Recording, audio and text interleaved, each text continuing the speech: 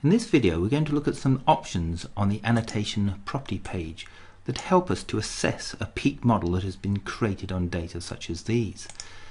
If we add a residual and then just adjust the display so we can see clearly that the residual is reasonably flat and the residual standard deviation is close to unity. So you might conclude that these data are well represented by a set of peaks.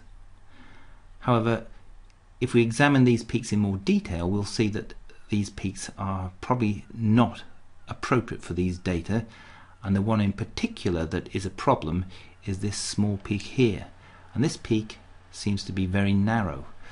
So the function of the annotation quantification option is that we can create quantification tables that allow us to visualize different pieces of information.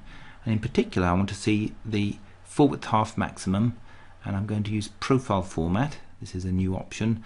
And if I press apply here I end up with a table that if I then adjust the table position I can see that I've got a set of components and the full width half maxima for each of these components are reasonably similar perhaps but the one that really stands out is a value of 0.44 and this is the peak that we see here and the reason we know this is doubtful is because the operating mode for this instrument is a pass energy resolution of 20 and the width of the entrance aperture and the arrangement of detectors is such that we would not expect a carbon 1s peak to be produced from this instrument with a resolution of 0.44 for the full width half maximum. So this means it is taking up a shape within the data that is non-physical and we cannot rely on the binding energy of this peak to infer any kind of chemical state. There are two options for generating these profile reports and one says both in profile format and the other one is both in profile format active tile only and the difference between these two is that if the both in profile format is selected then the table is generated based on the selection in the right hand side. If I deselect this carbon 1s, you can see the table goes away. Although the marker indicates there is a table here and you can see the entry in the annotation history, it's not until I select the carbon 1s that the data are then collected from the selection and then displayed in the table. And this feature is important when we want to see a trend within a data set rather than a specific VAMAS block. If we had rather selected both in profile format active tile only, then the data that is displayed in the table would have come from the data that we see in the active tile. So let's illustrate this by looking at another file that is related to the discussion. Is to say, we've got a set of data, and these are all carbon 1s that have been measured from graphite.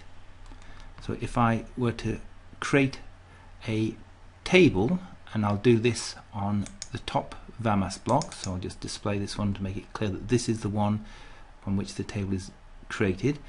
If I create a table that is based on the full width half maximum again then we see the result of the full width half maximum that's gathered from a region on the selected VAMAS block. If I select all of these then the table then fills out to show the width half maximum for each one of these spectra that were measured at different pass energies. So we can see how the width half maximum changes if a full slot aperture at the entrance to the hemispherical analyzer at different pass energies and then there's another aperture that restricts the signal into the hemispherical analyzer so it's narrower a 27 micron aperture and this produces a sequence of full width half maxima that are different from when we use a full slot. The signal, however, is much reduced when we use a 27 micron aperture compared to the full slot. So this is a trade-off between sensitivity and resolution, which is also the trade-off that occurs when you go down the pass energies. So from pass energy 160 down to pass energy 5, you improve your full width half maxima, but you're also reducing the signal. And we can see that if we first of all move this table over and that will make room for using the height as a measure of the signal. So include height and I'm using both in profile format so the result of this table will again come from the selection in the right hand side and when I press apply we see the table that is now based on height information for each one of these spectra where it's the peak above this Shirley background that is reporting the intensity in terms of counts per second. So let's now do a comparison. So we can see here that when we improve the energy resolution, we also, in general, we have a reduction in the signal. But we don't have a significant reduction in the signal at pass energy 60 to pass energy 80, even though we've halved the pass energy, we've improved the energy resolution from 2 to 1, but the signal is roughly the same. And similarly, if we go from 80 to 40 with the full slot, we see a reduction in the peak height, but it's not really that significant. But we do see an almost halving of the full width half maximum. However, once we go to pass energy 20, we have a, a significant reduction. And when we go to pass energy 10, it's about half of pass energy 20 in peak height. And this is significant. This is telling you something about how the instrument is working, that the height is halving. So this is now an indication that at pass energy 10, we're seeing a peak that is very representative of the carbon 1s peak.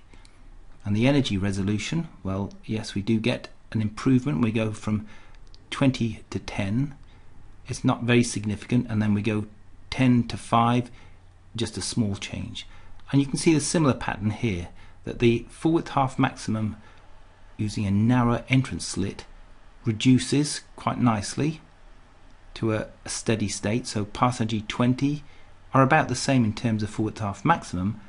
However, you can see that the result of reducing the pass energy is that you're losing about half the signal each time. So it makes a difference in terms of sensitivity, how we collect data, and it makes a difference in terms of peak shape and energy resolution, again, how we collect the data. Width half maxima are determined by both the entrance aperture and also the pass energy and the compromise that we have to make is choosing the best signal to noise for the best energy resolution and peak shape. These results are all deriving from the selection in the right hand side and also they're all coming from a quantification region. However, if we return to the original data where we have a peak model and go to the annotation option, then if we select the peak height and use both in profile format active tile because we've got components here then rather than seeing the result from the region we will then see the peak height that is generated by these components. Because I've said active tile only it doesn't matter whether I've got a selection or not. So if I select the carbon 1s we see the option that was generated by both in profile format. If I choose to create a table based on both in profile format active tile, then I create a table. I'll move it so we can see it also.